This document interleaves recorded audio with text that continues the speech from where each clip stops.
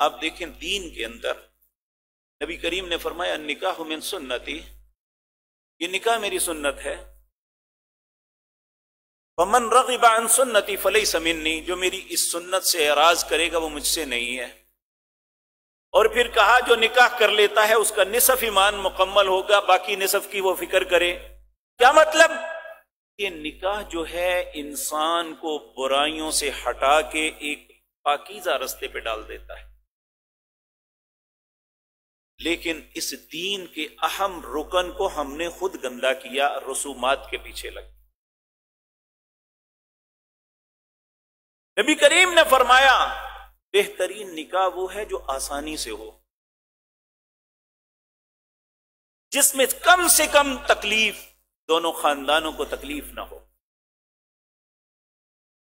हम अगर कोई तकलीफ़ नहीं भी उठाना चाहता, हम ज़बरदस्ती उसे तकलीफ़ में मुबतला कर।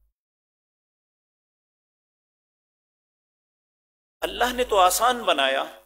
आप देखें सैदना अनस बिन मालिक रज़ी अल्लाह तु इन्हें खादम रसूल कहते हैं, दस साल तक नबी करीम की खिदमत में रहे।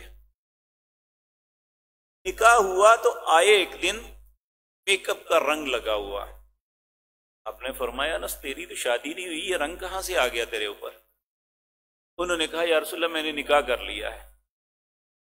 दस साल से खादम रसूलुल्लाह का निकाह किया है इतनी सादगी से कि नबी करीम को भी नहीं पता।